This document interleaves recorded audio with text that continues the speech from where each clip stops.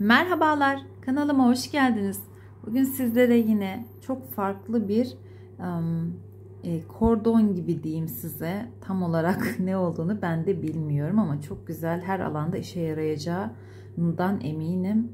Şimdi modeli görünce anlayacaksınız zaten farklı, hiç kimse de görmediğim değişik bir model oldu. Çanta sapı yapabilirsiniz, bileklik yapabilirsiniz, kemer yapabilirsiniz daha ince iplerle aradan tel yapabilirsiniz. E, havlu kenarlarınıza dikebilirsiniz. Şimdi göreceksiniz zaten modelin yapımını. Şimdi birlikte modelin yapımına başlayalım. 1, 2, 3, 4, 5, 6 zincir çektim. Hemen ilk zincirime değil bir önündekine battım. Bir sık iğne 2 sık iğne. 3 sık iğne. 4 5 tane sık iğne yaptım. Bir zincir çektim çevirdim. Hemen dip kısmından bir sık iğne. 2 3 4 5 kez battım şöyle bir e, zemin oluşturdum. Şimdi 1 2 3 4 5 6 7 8 9 tane zincir çektim. Şöyle şuradan bakın. Bir şu ikinciye battım. Şöyle tığımı aldım zincirimi buradan geçirdim arkadaşlar. Ve buraya sabitledim. Hemen karşıya zincire atladım. Bir sık iğne yaptım. iki sık iğne, üç sık iğne, dört sık iğne, beş tane sık iğne yaptım buraya. Bir zincir çektim, arkasını çevirdim. Hemen dip kısmına bir sık iğne, 2 sık iğne 3 sık iğne üzerlerine 4 sık iğne yaptım. Beşinciyi de şuraya aşağıya inip oraya yapıyorum ve bunu buraya bağlıyorum arkadaşlar. Yine sık iğne ile bunu buraya bağladım. 1 2 3 4 5 6 7 8 9 zincir çektim Bakın şu ikincisine tığımı batırdım. Çıkarmış olduğum ilmeğimi bunun içinden geçirdim. Bir zincirle bağladım. Hemen bir sık iğne 2 3 4 5 tane zincirimin üzerine sık iğne yaptım. 5 tane sık iğnemi yaptım. Bir zincir çektim. Hemen çevirdim. Dip kısmına batıyorum. Bir sık iğne, iki sık iğne, 3 4 tane sık iğnemi yaptıktan sonra beşinciyi buraya atlıyorum buraya bağlıyorum arkadaşlar bu şekilde.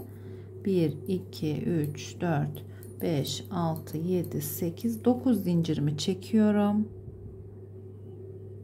Bakın bir ikinciye batıyorum tığımı. Tek taraftan yapılmış oluyor. Yani arka ön çevirmemiş oluyoruz. Hemen bunu buraya bağladım. Karşıya bir sık iğne 2 sık iğne. 3 4 5 tane sık iğnemi yaptım. Bir zincirimi çektim ve çevirdim.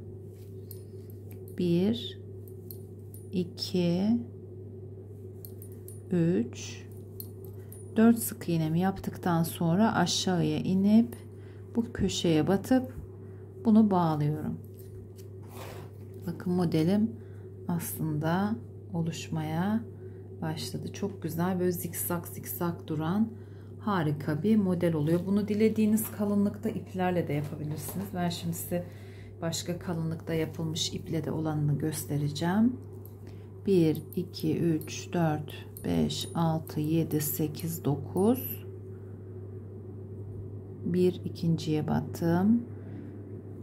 Aldım. Sabitledim.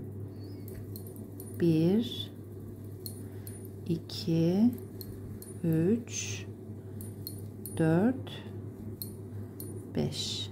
Bir zincirimi çektim, çevirdim. 1, 2, 3, 4 aşağıya indim. Beşinciyi de yaptım. Bakın bu şekilde. Şimdi diğerini göstereceğim size. Ee, son aşamasında anlatacağım tabii ki. Bakın. Şöyle. Çok güzel bir e, model oldu. Kordon yapabilirsiniz. Çanta sapı harika olur. Çok farklı. Çok da çabuk ilerliyor. Çanta sapına tavsiye ederim. Ondan sonra bileklik yapabilirsiniz. Kemer yapabilirsiniz. Daha farklı iplerle havlu kenarı, ara danteli vesaire vesaire her alanda kullanabileceğiniz bir model oldu. Şimdi hemen bunu ben şöyle daha ilerletmeyeceğim. Sık iğne kısmına geçiyorum.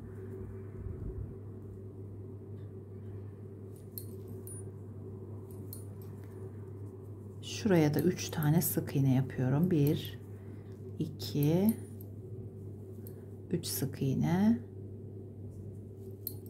1 2 3 buraya 4 sık iğne yaptım. 1 2 3 sık iğne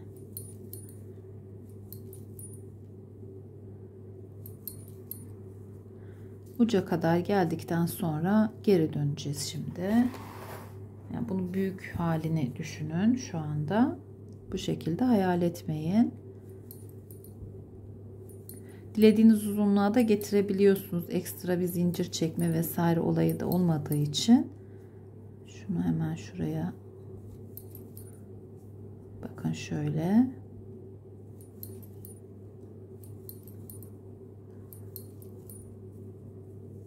Üç tane e, sık iğne yapıyorum. Boşluğa. 4 tane de 2 3 4 tane de e, trabzanların olduğu yere. 1 2 3 böyle bu şekilde bitiriyoruz.